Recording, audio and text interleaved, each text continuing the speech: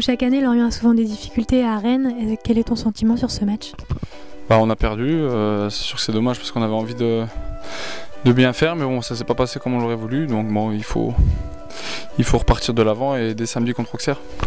Auxerre justement reste sur deux défaites consécutives et Lorient a fait un nul et une défaite. Comment vous abordez ce match? Bah, on aborde avec l'envie de, déjà de préserver notre invincibilité à domicile et puis avec envie de, l'envie de, gagner parce que ça fait deux matchs qu'on l'a pas fait donc euh, voilà avec beaucoup de beaucoup d'ambition c'est qu'un bon résultat peut nous, bien, bien, nous replacer donc euh, bon ça va être un match difficile contre une bonne équipe mais il va falloir faire un bon match pour l'emporter.